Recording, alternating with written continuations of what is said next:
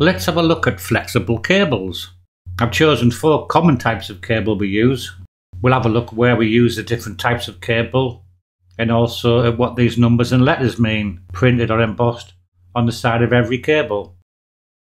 So this cable here is HO7RNF and it goes on to say 3G 1.5mm squared, VDE, and then we've got the manufacturer's name.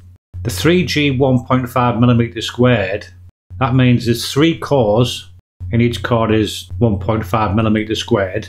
The G means that one of the cores is green and yellow, your CPC. If it had an X, it means there's no dedicated green and yellow CPC within the cable. So what do these numbers and letters mean? Well, H means it conforms to harmonised standards. The 07 identifies that the voltage rating of this cable is 450 750 volts. We'll come back to that. R identifies that the insulation is EPR, ethylene propylene rubber. N identifies that the outer sheet is PCP, polychloroprene. I don't know if I'm pronouncing this correctly. And F tells us that the conductors are flexible, class 5. Conductors come in various classes. Flexible conductors are class 5. You can see the different designations for cable class here. As mentioned, the F in the cable stands for flexible, where you've got lots of little strands of copper, hence making the cable flexible.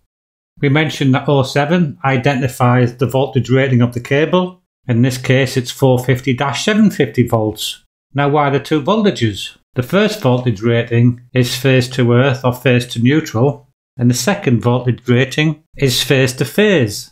In AC systems, the rated voltage of a cable shall be at least equal to the nominal voltage of the system for which it's intended.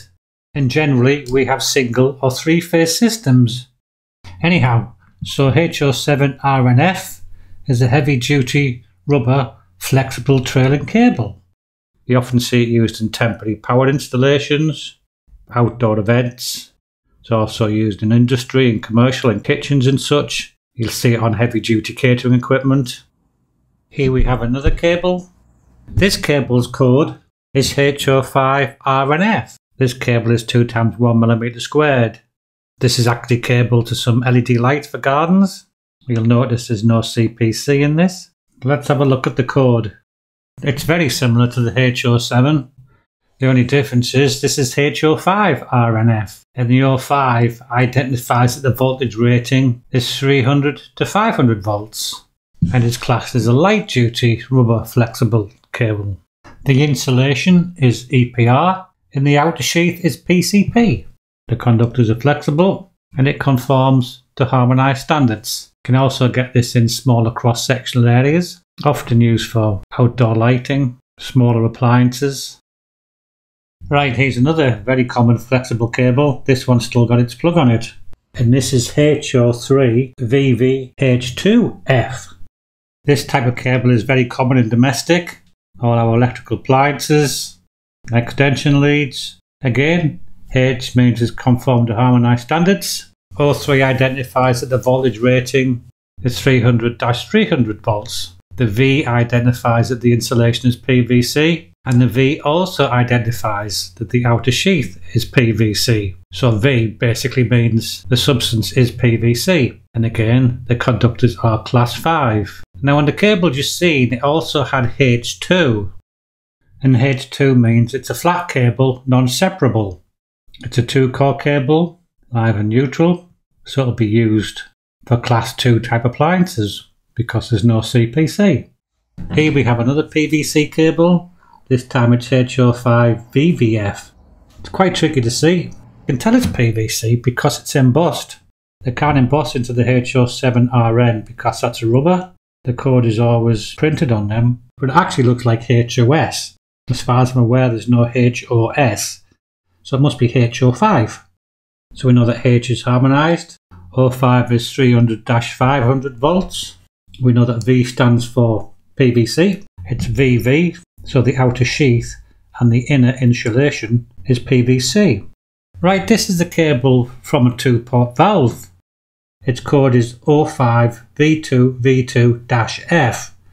Notice there's no H.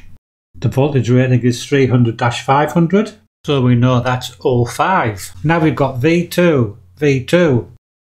We've got a clue here, 90 degrees C. That's right. So this is heat resistant PVC cable.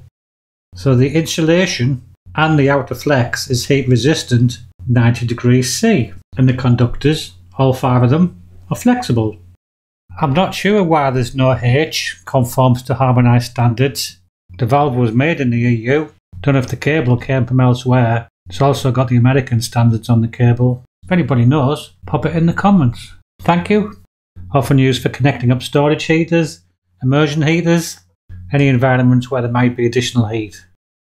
Just a little bit more on cable class.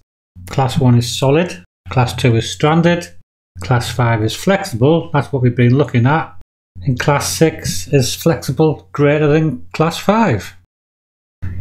You can get round cables with solid conductors, an example being NYYJ. It's a type of cable that has a very tough outer sheath. You'll notice this is N, not H. This is aligned to VDE standards, which is German. It's a regional standard, and they also use a different letter for PVC insulated. They use Y, where the harmonized standard is V for PVC, and J contains a green and yellow core, where in the harmonized standard it was G. So you do get different regional standards as well, which is something to be aware of. In industry, you can get solid cables up to very large sizes. We've got solid cable in twin and earth, haven't we? Up to 2.5 millimeters. You'll notice anything larger than 2.5 millimeters in twin and earth will then go to stranded. Stranded is also the type of cable you get in SWA. Makes the cable easier to bend than solid, but it wouldn't be classed as a flexible cable, and you'll have different installation methods. Flexible is a trailing cable, and solid is generally fixed or buried. But obviously, you've got to follow the manufacturer's instructions. Here we've got some tails 6181Y. These are known as flexi tails, but it's stranded cable. There's two types here. One has got 19 strands, the other has 7 strands. The 19 strand, the blue cable, is an awful lot easier to work with. An example of class 6, flexible greater than class 5, could be the cable used for RCBOs. This is the neutral lead. Sometimes this is very, very fine. The ends are often compressed, so it's solid, but if you want to shorten the lead, this very, very fine stranded copper needs a ferrule on it because it's so fragile. Well, that was just a quick look at some common types of flexible cable we use. I hope you found it useful, and thanks very much for watching.